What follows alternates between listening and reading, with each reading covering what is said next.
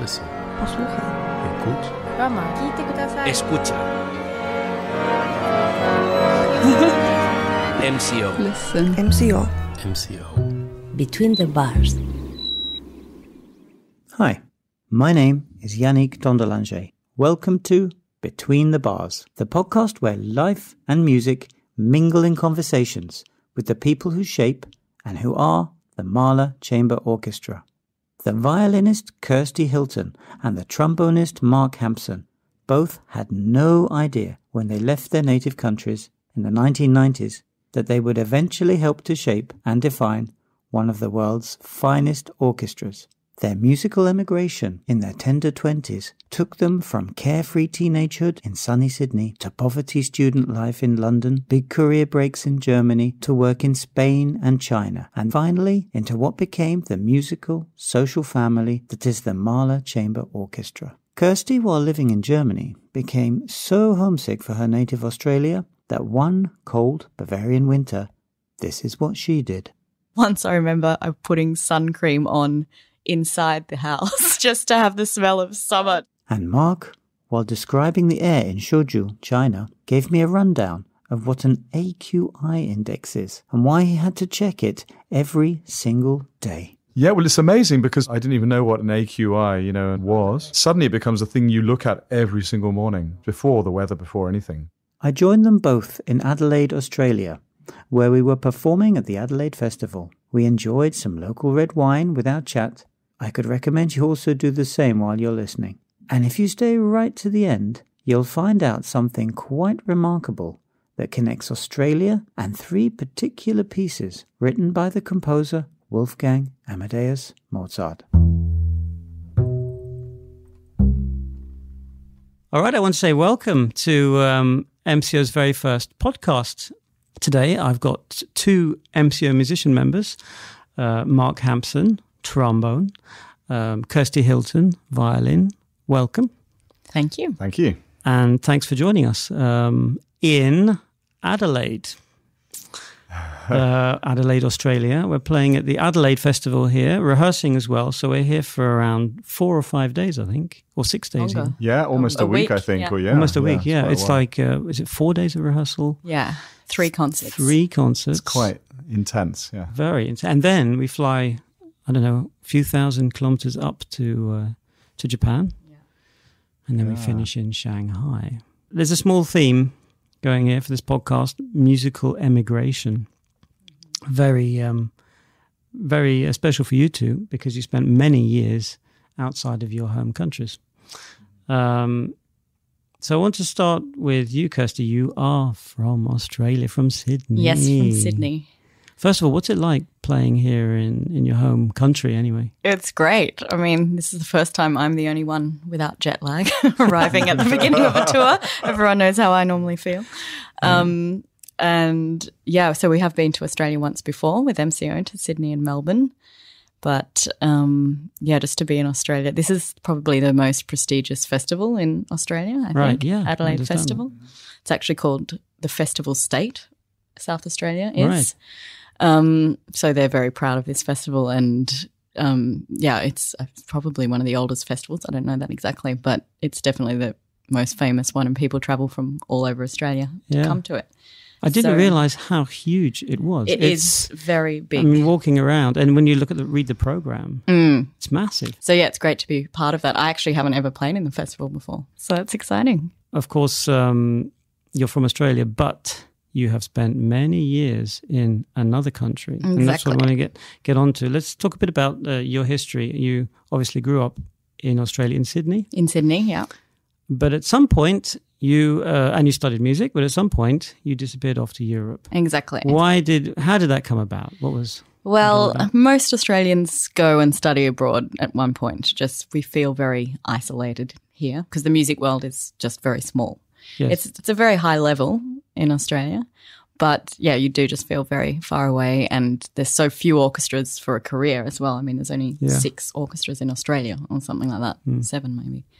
I actually went straight into Australian Chamber Orchestra from school and just thought because I was so young then, 18, hmm. that I needed to do hmm. something else. So, yeah, in 98, I went to London first for a year, to study. Right. So were, were you a Guildhall? Or? I was at Guildhall, Oh, yeah, right. okay. doing the advanced solo studies, which was great. But I actually didn't have any money to stay longer than a year. I had no working visa there. I couldn't do any work as a musician, so I was doing babysitting and things. But my scholarship money was just going down quickly in London. So basically, I needed, I wanted to go to Germany after that because I knew it was free to study. Yeah, and that's that's a big point, isn't it? That I Mm-hmm. mean, basically the course costs hardly anything. Yeah. And if, for example, if you're in a city like Berlin, it's you know much cheaper to live in Exactly. London. Yeah.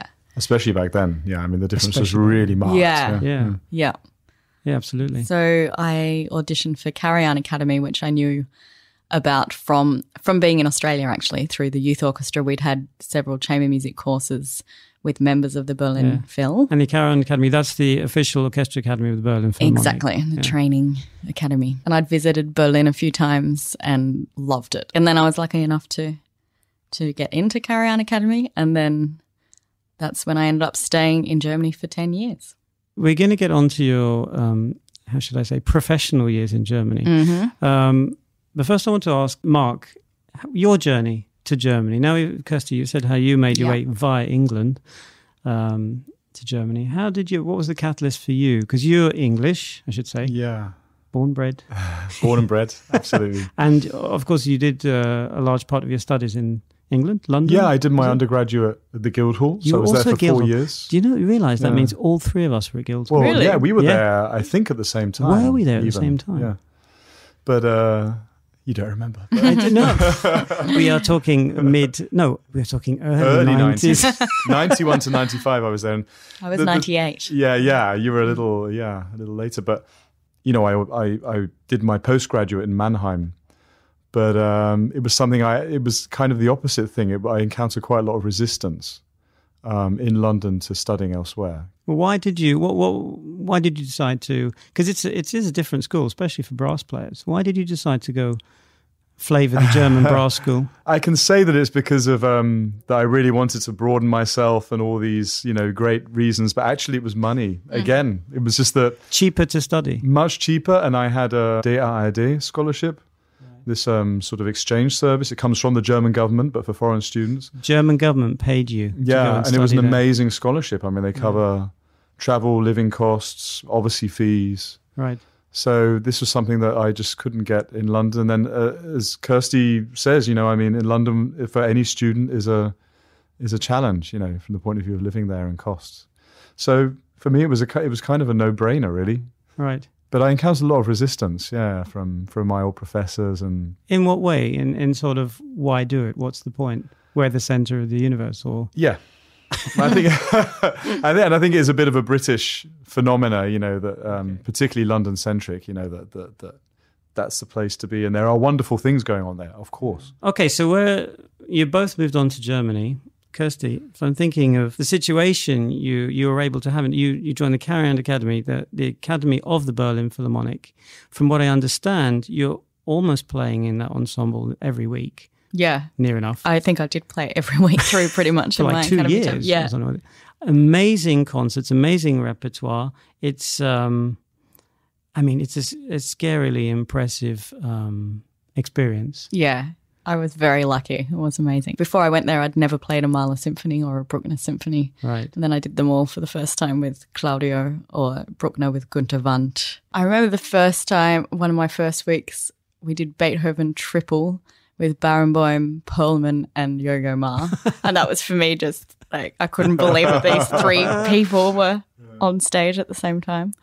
Um, Weren't you terrified? I mean, I don't know. I mean, I was still, I was only 20 actually. So I think I was still a bit naive and, you know, you don't, things get harder later. so I didn't think Yeah. about it as much as I would good. overanalyze things now. Yeah. So, yeah, I just enjoyed it. I guess it's also the first time you come into contact with that that kind of charisma. You know, I mean, Yeah. Yeah. you know, when you see because of course you can see someone on a video or hear them on a recording, but then when you're on stage and you experience them, these guys do have amazing charisma, Yeah, don't they? And you- exactly. you- it's something you it's I- really yeah, tangible. realized, I think what I realized is was the importance of a conductor as well. you know, before that, just Not just thinking- keeping time. Yeah, it's a real question that Yeah. people often ask, like, what? Do they, and Yeah, that's when exactly. you feel actually what it is. yeah. and just that difference in the concert of the inspiration that comes that makes the difference from what you've rehearsed. You know, That's such a powerful word, charisma, isn't it? And Yeah. it's it's uh, something that you can't quantify. No. and you sort of if you if you happen to join a more regular orchestra and your life becomes more routine, and then one day someone special comes along again, and you realize, oh yeah, that's what it was about. Exactly. It was that word charisma, and that person with charisma doesn't even need to say, uh, you know, three sentences. No. and you're doing it. You're there. Yeah, they can they can even be uh, technically not the greatest conductor. Yeah. but it, it doesn't matter. You know, No. in that situation, yeah. it's amazing. So you've done you've done the Karajan Acad- Academy, as if that wasn't enough. You then suddenly got. You have to correct me if I'm wrong. You got no less than two jobs in two two of the best orchestras in the world in two days. in, in two days. I didn't know well, yeah, in Munich. So I In in the was it Munich BR? Munich Philharmonic one day Yes. and then BR the next day. Explain for those who are not uh, for those who don't know what BR Oh, is. Bayerischer Rundfunk. Bayer- so the radio Orche- orchestra, The radio right. orchestra of Bayerischer and these are not any two orchestras. No, they're, they're good orchestras. I mean, I guess that was one thing from Karajan Academy. Um, they real there was quite a lot of pressure that you get a good job out of it, you know, even what you applied for. So I'd done one in Munich Phil actually before that that I didn't get. That was my first audition. And then, yeah, and then I did that and I got that. And then I, Bayerischer Rundfunk was, I don't know, I wanted to go there. So I still did the audition the next day and, And ended up getting that. Yeah, I don't know Wow. if they, they knew I'd just got the job in Munich Phil. Maybe that's why they wanted me. And also, I mean, that's doing an audition. It's not. it's easier said than done. I mean, uh, just in a couple of sentences, what is it? Tips from the top. What is the key if you're going to nail that? Well, I think the main thing I learned, I remember Guy Braunstein telling me the person who wins the job is not necessarily who plays the best on the day, it's who gives the most on the day. And in an audition, I find it easier than a concert in a way because you know it's a short amount of time actually. So less time you have to concentrate. Um, but you have to, in that short space of time, really show something special. So when I was practicing Mozart concerto or something, that in the first few lines, you're showing something different from everybody else Different musically. musically. Yeah. Technique is taken Well, for has to- granted. yeah. But you have to show your personality, your own charisma. yeah. And I'd spent hours and hours like on the opening two lines of the Mozart concerto and mm-hmm. just that it was 150% secure. Right. And yeah, so I just sort of had a way of practicing that I, But you mean so that it was 100% technically secure so that you could express yourself over myself of that? and exaggerating everything in it. Exactly. So every guy also had me always playing. He said, "Do it till you feel it's ridiculous," you know, because it doesn't come across. Sp- You know, often Berlin Phil don't have a screen, but a lot of orchestras do, and all of that, those little details don't come through actually unless you really exaggerate. So, yeah, I guess it was playing in a different way from how I'd perform it in a concert. Mark, can I ask you, um, was your first job in Germany? Did you continue in Germany after your studies? Did you come back to England? No, I, uh, I, I didn't. I had a sort of a, a two-year contract in a German opera house in Mannheim, Yeah. um, but I didn't actually get the fixed job there. So you can say, like, parallel to my studies, I was working and doing a lot of opera and stuff like that. But my first job that was actually my job was, was Gran Canaria, where I, where I still am. Can we let's talk about that now because now now for those who are listening, now you've been in Germany and now you've moved to Spain. Spain is where you're establishing your professional career. And as you said, as I think I read in your notes, the polar opposites of Europe. Yeah. How yeah, describe that culturally, musically, the food. Yeah, in, uh, yeah, in every way, uh, every possible way, and and I mean the Canaries is it's a special place because it's um it's a kind of a midway between Europe and South America, so it's even between the Spanish see it as being quite Latino, you know, so sort of towards Cuba and Venezuela. Latino in the way of uh, I don't know, partying, staying up later, even later than in Spain.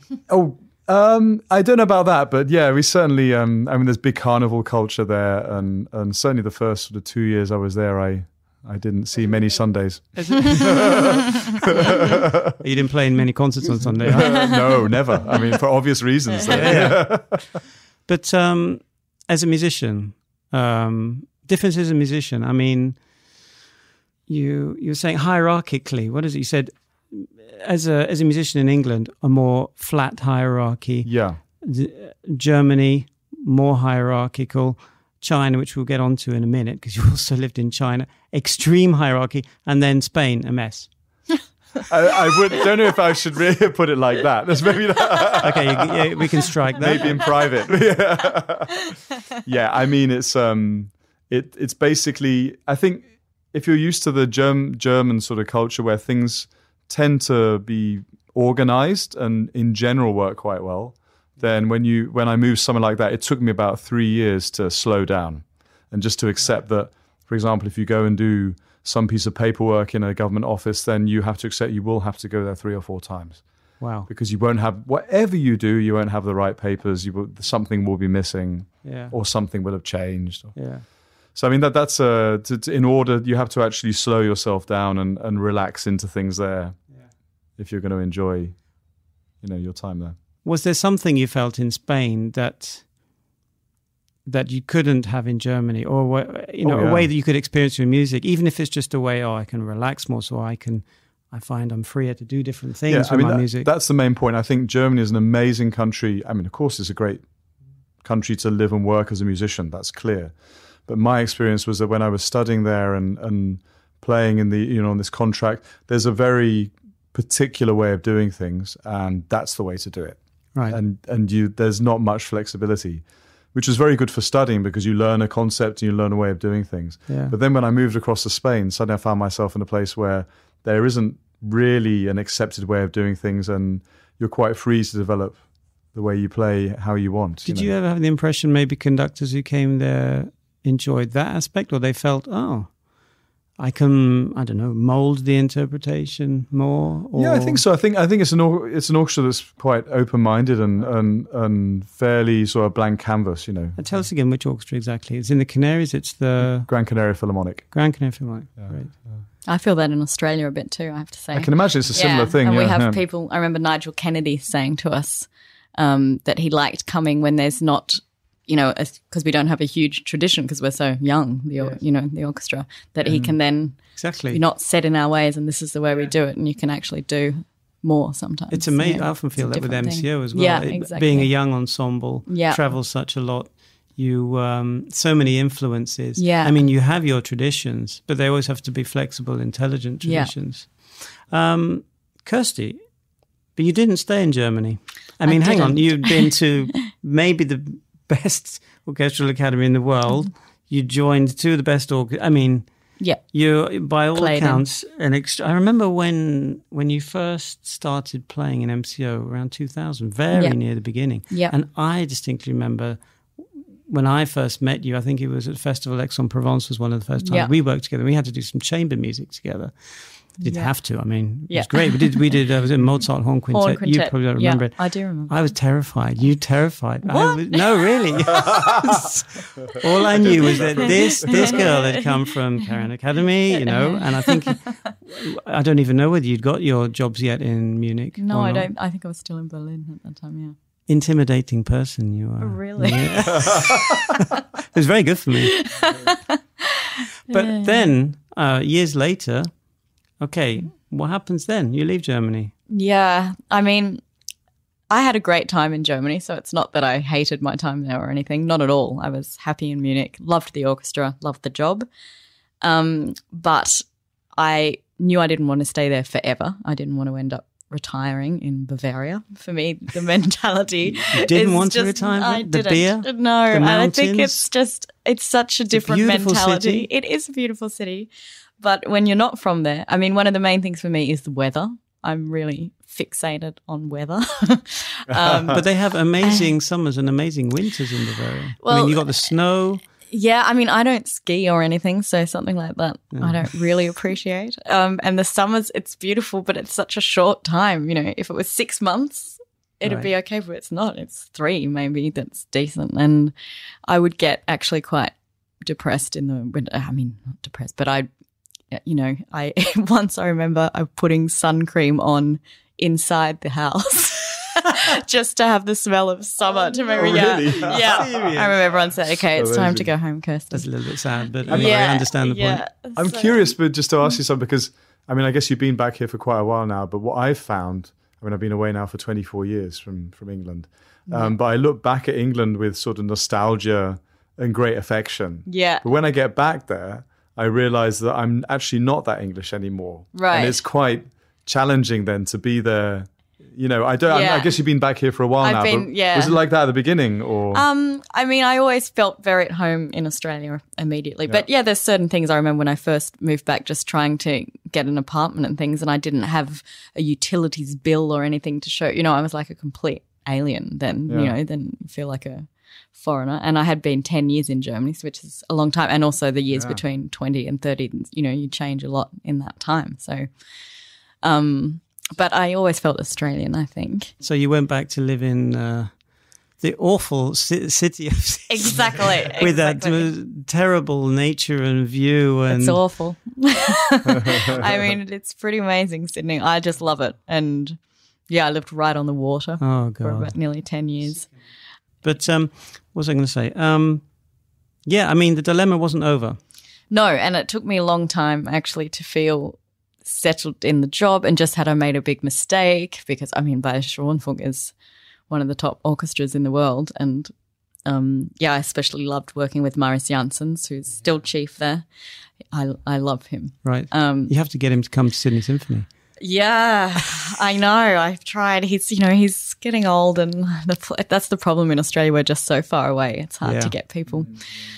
Um, and also, they nearly need to have two weeks free because coming with the arrival, just the time it takes to get there and back, you know, it doesn't. You can't even have just one week No. free to Oh fit it in. So the big people who are busy, it's very, very difficult. Should we start talking about jet lag? Well, yeah. How are your jet lags, by the way? Well, I don't have it. oh, you don't. yeah, Sorry, of course exactly. You don't have Good it. question. yeah, This is the one occasion where you don't have it I on know. an MCO tour. I know. It's amazing. And you're back in Europe how often each year? Uh, about four or five times Right. a year. I try to do the longer projects with MCO. Four Mahler Chamber Orchestra, of yeah, course. yeah, for Mahler Chamber. And you found a balance, you think? I think so. Um, I mean, yeah, it's I sort of like the flying less and less as I get older. I have to admit. Yeah. But then you think, doesn't- look, it's just a day of your life, you know. um, and then once I'm there, I love it. You know. Yeah. Sometimes when I am in Sydney, I think, oh, you know, to have to get on the flight again and things. And then I'm there and I'm planning in when the next trip is. And I don't think that's necessarily even the long haul flying. I mean, I feel that just when I have to leave home and go know, exactly, it just 50 minute flight into yeah, Europe or something. Yeah. So for me, it is perfect. Yeah. So for a long time, I wondered if I'd done the right thing, and I did go back and do a six month contract in Munich. And Oh, right. So you really, tr- you really Yeah, thought about I did- stepping back into the German work it. scene. Yeah. Not that I was unhappy in Sydney, I was, but just yeah, torn. I guess. Yeah. I read a book I remember called Leaving Paradise by an Australian author who she wasn't a musician but just had lived in Amsterdam for a long time and Right. then moving back and just the whole thing that after a certain amount of time you are always torn between the because it is still home. Ah, There's something you know because ten years is a long time, especially those. Well, I mean those Yes. years where you you know become an adult and everything and um so did you did you feel you really had a foot in two different cultures? I did in the beginning yeah and always will, or I think I always will like while will I'm still going. Um, or, or is it that stage in your life? For me, it's a stage where I, I couldn't possibly imagine giving, giving up Mahler Yeah. And I know, like we all do, all the negatives, Yeah. but it'll probably be there for the rest of my yeah, career now. exactly. I mean, I don't want to give it up. The only reason I would give it up is just if I had to, you know, and if Yeah. I mean, Sydney is my full time job, and Mm, if, but they're very good with me with letting me do good. things at the so moment. they should be. Yeah, yeah.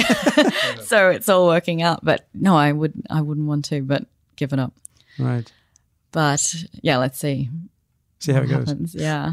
Listen, we're going to take a little break now. Um, the podcast will continue with other tasty things, and we're going to come back in a second.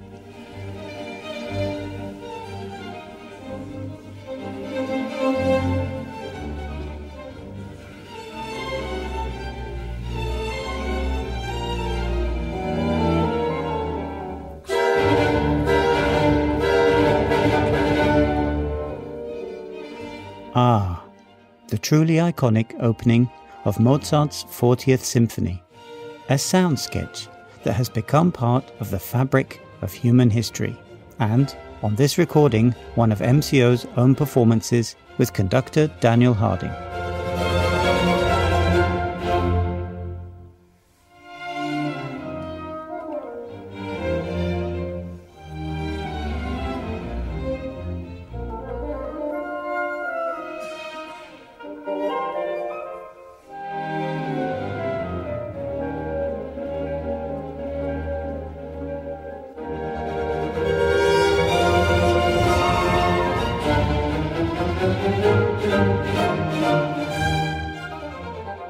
While Kirsty and Mark top up their glasses with more Australian red, and I go look up who wrote the book Leaving Paradise, take a listen to the first of, I hope, many Matti moments.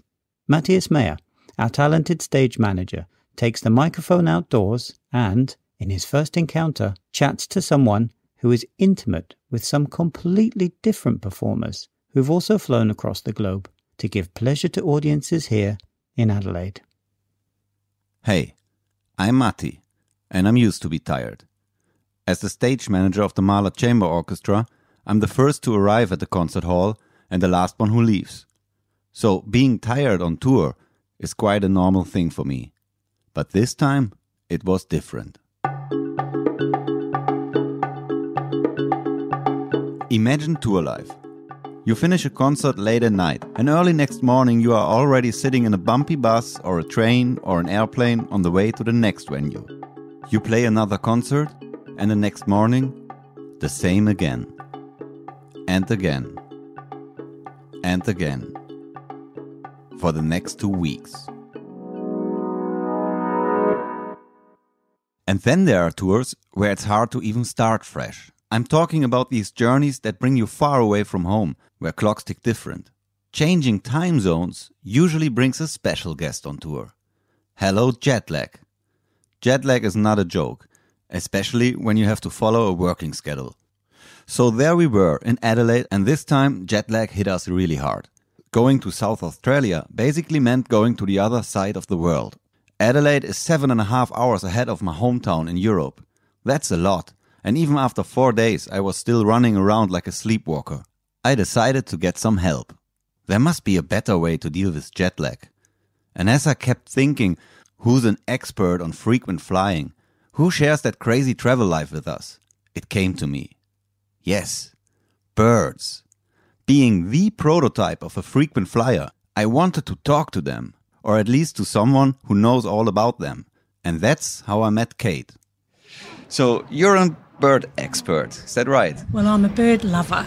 I don't know if I'm an expert. I know quite a bit, but I wouldn't like the label expert. But I'm the Secretary of Birds SA and I love birds very much. Birds SA stands for Birds South Australia. It's the oldest ornithological society of the country, founded in Adelaide over 100 years ago. They have nearly a thousand members, and besides conservation work and research, they organize monthly birdwatching trips open for everyone. Kate was not always a passionate bird lover. She recalls a single moment back in 2003 that drew her into bird watching. I went to Broome up in Western Australia on holidays and I booked a tour with a bird person. And I booked that tour simply because I wanted to go camping in the Kimberley. And he had a telescope and put it up on a bird. It was a bird that lives along the shoreline and in water. It's called a pied stilt and I just couldn't believe these long pink legs. In our conversation about birds, Kate drew a funny connection. Many Australian birds, they dress in black and white, and many of them can sing. So they make beautiful music, just like you. Hang on. Dressed in black and white and making beautiful sound? That reminds me of someone.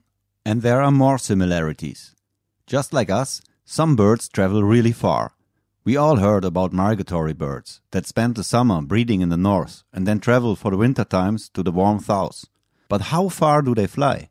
Can they compete with our journey from Europe to Australia? You've travelled 16,000 kilometres. They travel further than you. They travel 20,000 kilometres in one season. And you do it in an aeroplane, sitting in a seat, they fly. 20,000 kilometers. That's an impressive number. Time for my big question. I wanted to know from Kate how do these birds handle the enormous effort of such a long journey? How do they cope with jet lag? First of all, they cope better than you in that they feed up. They increase their body weight between 50 and 70%. So, looking at you, you need another 50% to cope better. Well, that's not really an option for us. Imagine the whole orchestra putting on another 50% of their body weight before going on tour. Super size me. We'd need at least two seats in the plane for each player, and we would maybe even be way too heavy to travel all together in one plane. But then Kate came up with something really stunning. They have discovered that these birds have a trait that no humans have. They can close one eye and shut off half their brain and sleep on one side of their body and fly with the other and then swap over. So when you've learnt that technique, you will cope with jet lag. Wow. That sounds like fiction, right? I mean, birds have there some super skills that I was not aware of. Let's have a look on another issue with traveling long distance. We as an orchestra are aware that flying has an impact on the environment. But what about birds? What's their carbon footprint? Very limited because they eat what's in the mud and what they deposit back in the mud is useful. They clean out their system every two minutes, so it's a very quick cycle. Um, but their carbon footprint is, is nothing, really. I mean, they're just very gentle on the environment. If you sum it up, birds are the smarter travelers. Facing climate change, the discussion about the environmental impact of traveling is coming more and more upfront, also in the classical music world. Up until now, I don't see an easy solution. On the one hand, orchestras on tour are depending on airplanes. On the other hand, we bring such a cultural benefit to the people. And so do the birds. The benefit is very similar as far as people go to what you, you do with your music because they bring beauty, they bring wonder. You know, they bring a whole new experience for people to see a, a small bird that weighs an ounce and to think that it's flown that distance to come down here to Adelaide, and you could say to see me if you like. The same beauty is bought by you flying the same distance to come here for a few days to share your music. And it draws people together across the world because uh, culturally we are quite different from Indonesia, Japan, uh, Korea, China. But these birds need some of the stopping off points there just like you need a stop off point in your plane. So we need to make a connection with those people to show them the benefit of caring for their coastline, their environment. So these birds, if they want to stop off to feed, have got somewhere to stop off to feed. And I believe that link with our cultures is an understanding that's not gained in any other way. It connects the people together just like music does. Music speaks every language, so do birds. What a beautiful way of connecting birds and orchestras. And what a beautiful way of connecting people through nature and music. Talking to Kate has been a real pleasure. It seems her thoughts easily cross all borders. They fly and stop where they want. If you are in Adelaide and you want to go bird watching, check out Birds SA. Check out their website www.birdssa.asn.au. There you find all the informations about field trips they do, where you can easily join. And what's for sure, the next time when I fly to Australia, before I hop on the plane, I will close one eye and tape it real strong. And then let's see how fresh I will touch ground in Adelaide.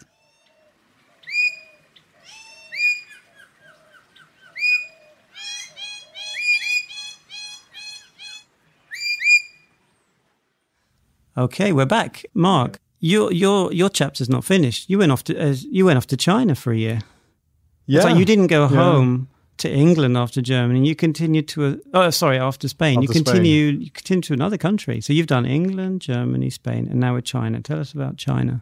China, yeah. I mean, it, it was a funny thing because it, it was a sort of opportunity that came up rather suddenly, and um, and uh, you know, it's just a, a startup, a new orchestra in Suzhou, which I'd never heard of, and subsequently found out it's. I mean, it's a really amazing city. Right. It's certainly any Chinese people will tell you it's a it's one of the most beautiful cities in China. Amazing old town and and and uh, yeah, I mean, I just got this opportunity, and I suddenly thought, well, you know, why not? I mean, there's no reason. I was uh, 45 at the time. I just thought it's a good time to go and get a have a new adventure and see what it's like to live in another completely different culture. Completely different. Yeah.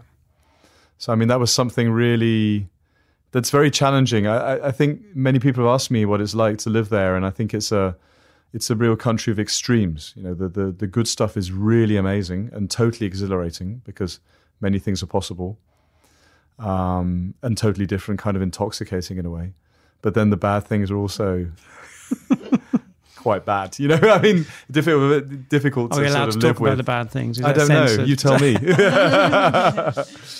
I mean, the simple things. There's also, of course, there are the there are the um, attitudes, you know, from um, you know from the people and stuff like that. But also, I mean, the quite tangible things like the air quality, and which I remember someone telling me before I went there. You know, Suzhou's got quite an air quality problem, and it's a factor. And of course, you think, ah, whatever. you know. yeah.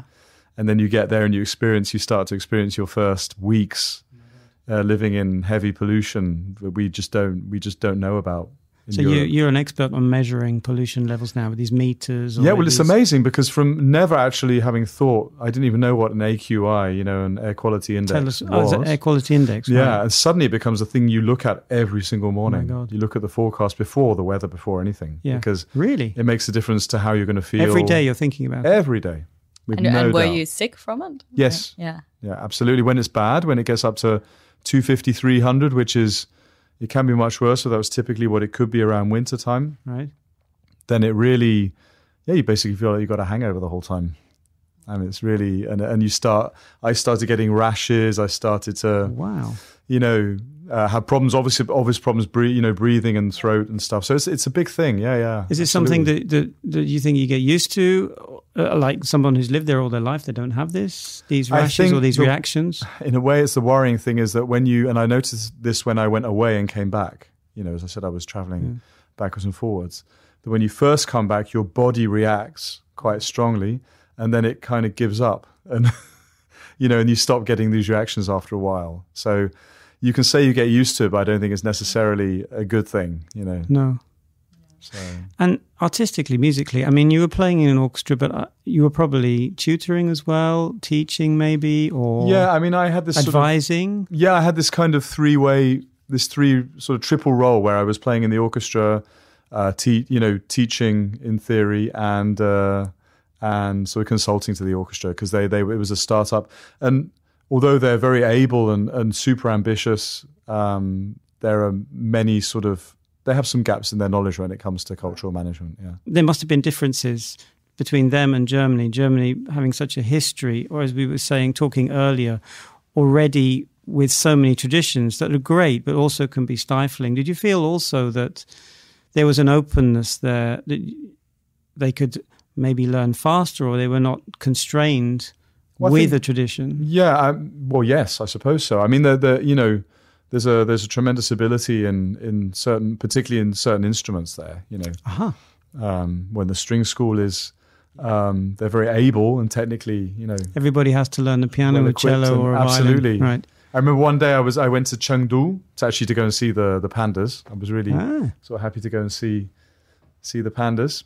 Um, but uh, when I when I went to Chengdu, I got invited to go to meet the trombone professor at the conservatory, and this is a conservatory which has thirty thousand students. You know the the, So the Sichuan Conservatory. 30,000 Thirty students. thousand, and then you. It's amazing. It's, it's, it's like a whole different level, and this place is enormous. So, obvi- if- obviously, if, you're teaching there, how many students do you teach? I mean, I think trombones is like normal because almost no one wants to play the trombone Oh, in right. China. so- How do they do an orchestra? But, but? I mean, the, the, well, the funny thing was that they have this huge long road that leads out of the conservatory, which is just full of, I mean, literally hundreds of shops, piano shops, basically. And I happened to be there on the day when they were doing the entrance exams, and there were thousands of people practicing. oh my So it was God. just my, my memory of that day was walking down to get lunch with the the professor bought me lunch and it was an amazing meal. But um, walking down, just hearing this cacophony of uh, of so these how many thousands practice rooms and things do they have there? I, I think actually not that many. I think they somehow They're all they, practicing They, in the piano shops. yeah, exactly, precisely. They just go down the shop and try try another piano. You know, Gosh. gosh. and that that was a really bizarre and something that really stuck in my mind. You know, Mark, Kirsty, I want to talk about Mahler Chamber Orchestra now and its place in your lives. Why do you not let go of it? Why why why do you think it will always be there? Why can't you not let go of it? Um, well, we all have such close friends here now as well. We've all known each other for so long. right. That's part of it, you know. Um, and then yeah, just the energy in the concerts of the orchestra is something very special. It's addictive. It is. Yeah.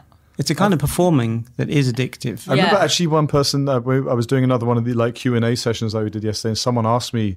I think it was in our academy project, Mm. and I actually said to them, "Yeah, it's like a drug." I mean, when you exactly- when you perform in this like orchestra, um, Yeah. it- I mean, Better- yeah, much better than a drug. We say that now. No, and you really feel it when you don't when you don't perform for a while, you know, and uh, even in great orchestras, which are wonderful. And, Yeah. Yes. But there's something very special, and and Even also in the rehearsals. absolutely. It's like, And this whole Yeah. thing of fact, because it's very easy, and I'm sure sometimes you look at like the material that we put out there, Mm. and it's family. You know, maybe it's mentioned often. I think this family idea, and it can sound a little bit maybe Cheesy, but cheesy, it's not. but it's, the really real true. deal. Yeah. It's really true. And it's funny because we all play in other orchestras, which is another aspect that um, probably, unfortunately, won't have time to cover in this podcast.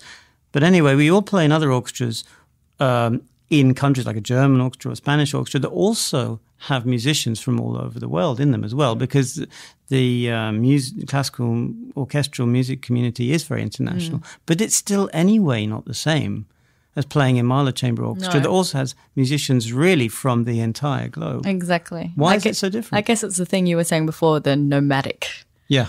sense of the orchestra. So it's it's Yeah, just something very special. Yeah, when you're, I mean, when you're on a project, and this has been said before, but it's really true.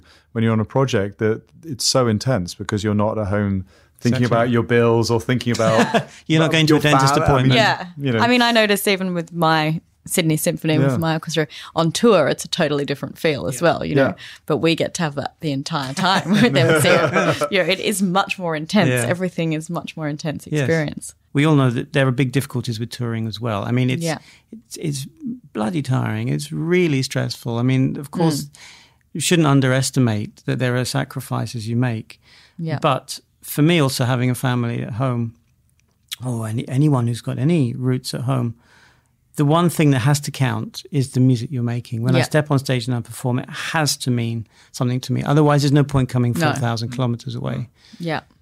No, I think there's a tremendous sense of uh, responsibility as well. You know that that because we're an orchestra that we're you know as we as we know we're self-governing and we we have to survive. We only survive through our quality, you know, and and and, and being being committed to the project. So I think everyone in the orchestra feels a tremendous uh, sense of responsibility. in all your travels, MCO and all the countries you lived in, what have you learned the most about stepping into other cultures? What have you learned about traveling around the world? That it's a good thing, or that, contrary to what sometimes you hear in the media, globalization is a negative thing?